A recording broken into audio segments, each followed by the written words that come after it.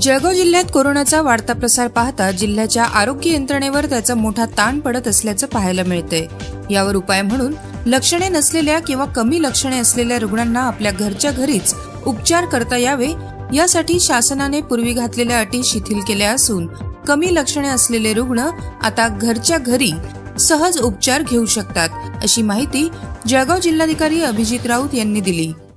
आपल्याला माहिती आहे की कोविडच्या संदर्भात महाराष्ट्र शासनाने होम आयसोलेशन आणि गृहोपचार याला परवानगी दिलेली आहे. ज्या लोकांना कोविड पॉझिटिव्ह येऊन सुद्धा लक्षणं नाहीत किंवा अतिशय सौम्य लक्षणं आहेत त्यांना वय किंवा इतर दुर्धर आजारांचा असा त्यांच्या बाबतीत त्रास नाही आहे अशा केसेसमध्ये होम आयसोलेशन हे शासनानं आपल्याला परवानगी दिलेली आहे.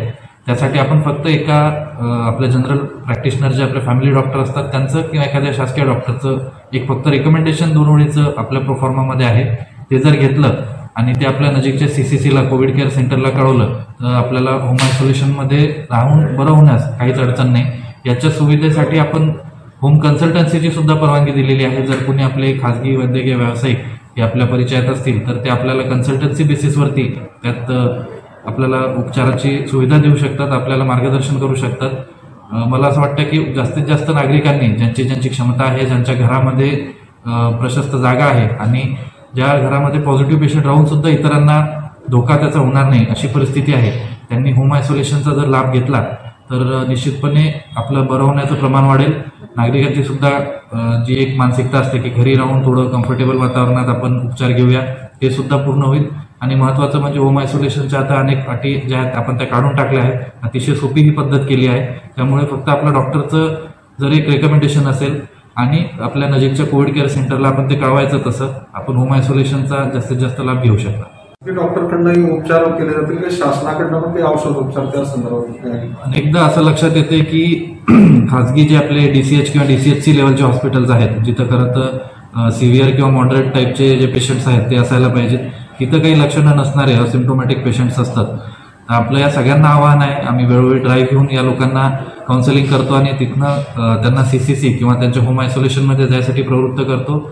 परंतु आपण असिम्टोमॅटिक जर असाल किंवा फार आपल्याला लक्षणं नसतील तर तिथं तो एखाद्या गरजूसाठीचा असणारा बेड अडवल्यापेक्षा आपण होम आयसोलेशनची फॅसिलिटी घ्या. तेच खासगी डॉक्टर होम कन्सल्टन्सीद्वारे आपल्याला सेवा देतील. आणि त्या अनुषंगानं आपण स्वतःला सुद्धा बरे होऊ शकता आणि इतरांची सुद्धा मदत करू शकता.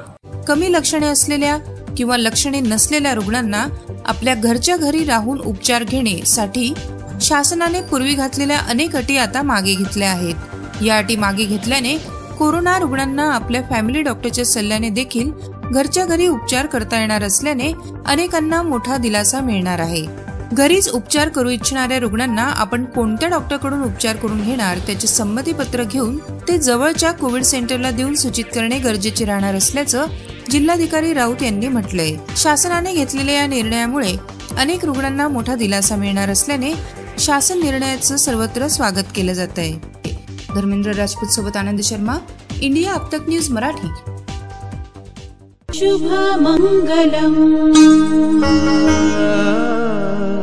सर्वमङ्गलम्